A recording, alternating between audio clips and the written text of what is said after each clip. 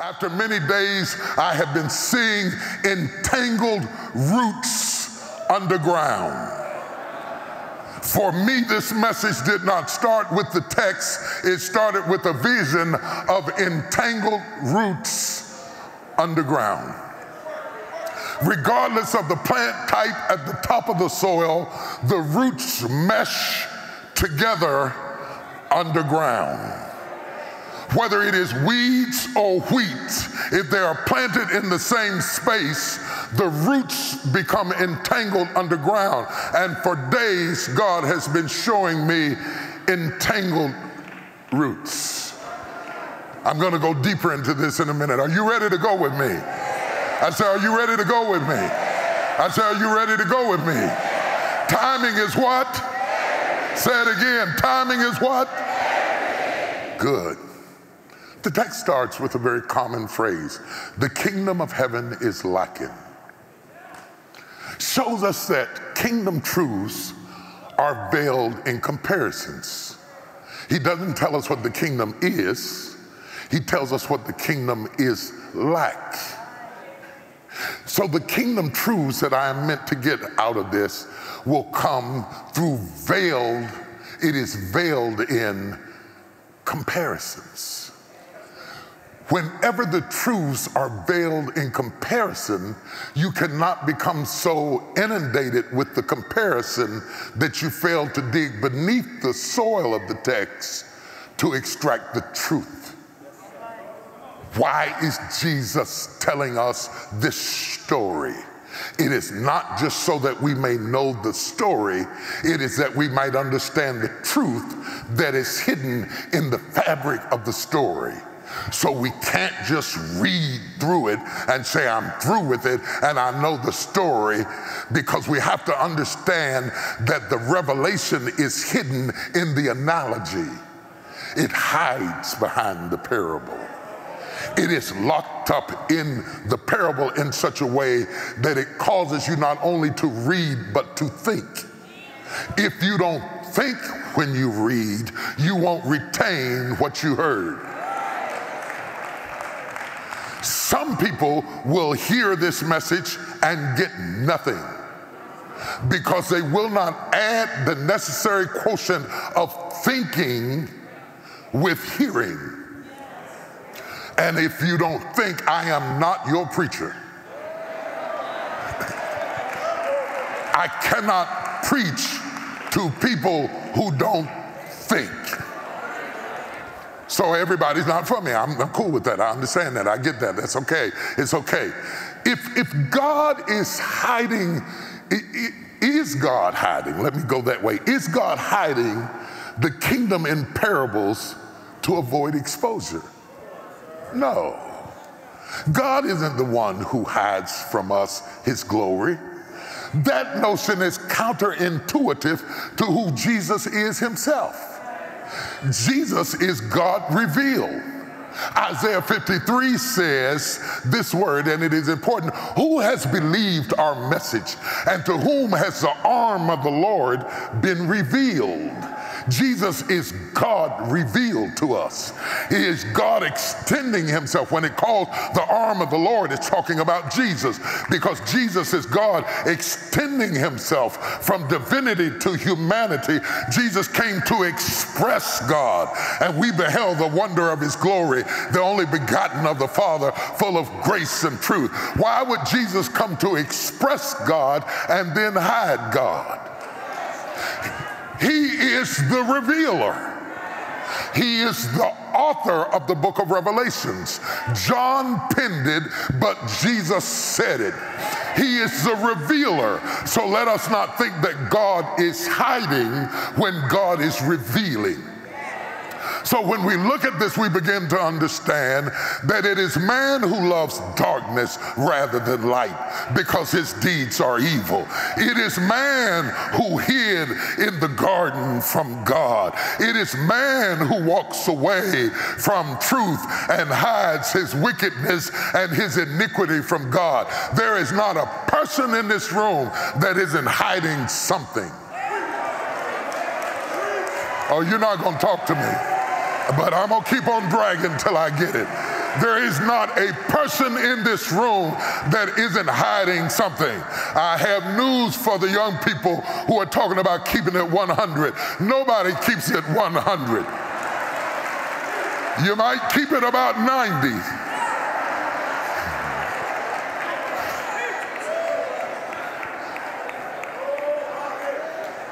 If you want to lose everything, keep it 100. If you want to lo- destroy everything, keep it 100. If you want to lose your job Monday morning, go in there and keep it 100.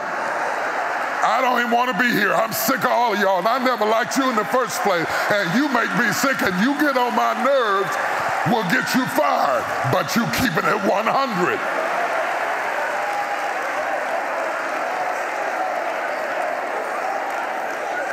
If you want to get divorced real quick and she asks you, do, do my hips look big in this?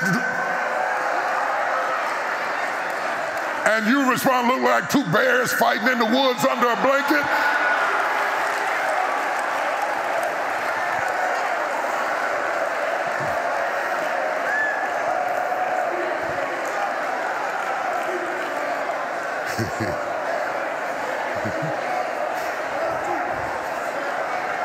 I'm just saying. I'm just saying. Or he says, Am I the greatest lover you ever had? No, you about number 10. I just love you and I put up with it and I act like you just killing me and driving me crazy. But the truth of the matter is, I was thinking about what I was going to wear to work. That's keeping it 100. It's also keeping you in divorce court. There's not a person in this room that isn't hiding something. God has nothing to hide. So when God says the kingdom of heaven is lack, we must not think that God is hiding the truth as if he were playing hide and go seek with us. What he is doing as the master rabbi is a teacher explaining the unexplainable to a far less intelligent being. What the kingdom of heaven is like. Like a first grade teacher teaching a student what it is like to be in Paris, what it is like to travel the world. She has to consider the age and the intellectual development of the student in order to be effective at teaching. She is not hiding, she is reducing it down to the level of the audience she is talking to. So when Jesus says the kingdom of heaven is like, it is, it is God stooping it is God coming to our level. Can you prove it? Yes, as high as the heavens are above the earth, so are my thoughts above your thoughts and my ways above your ways. If I spoke it to you on my level, you would never understand it. So I speak to you in metaphors and similes and comparisons so that you can learn what the kingdom of heaven is like. And I have to find something that you can compare it to because what I am talking about is so high that I'm breaking it down in the first line when I say the kingdom of heaven is like, I'm talking baby talk. Goo goo ga ga ga ga daddy. Goo goo ga ga ba bo oh, ga ba ba da da. That's what Jesus is doing when he's talking to us. He is breaking down through the parable some truths that we must take with us. I've got five lessons I'm going to tell you out of this text, and I'm going to talk about them, and I'm going to sit down. Five things that are to be excavated out of this text for the purpose of my assignment today. Because all of the times that I have ever preached this text, I have never seen the significance of timing to the text. But timing, say it again. Say it again. And then I want you to think, before I give you my first lesson point, I want you to think, why does God have me here this morning? How does this apply to my life? What is God saying to me? Why am I watching this particular message at this particular time in my life?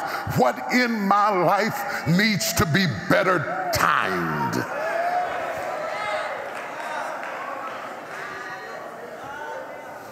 I made my decisions this morning according to time. I took my shower according to what time it was. I got dressed according to what time it was. I had to keep track of the time because if I lose track of time, I will always be late. And if I am late, I lose. Because timing is why would I want to be in a service and the glory moved and I missed it?